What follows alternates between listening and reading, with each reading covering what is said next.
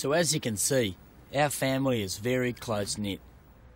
We also have pets, four greyhounds, Banshee, Starflash, Trailblazer, and Coco. Coco is the best, most successful dad has ever had.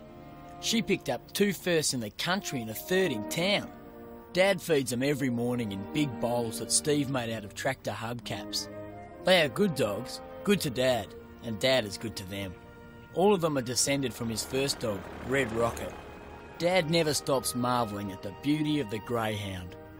In fact, he doesn't even race them for the money. He reckons they are noble animals, skinny and sleek, and have a beautiful snout.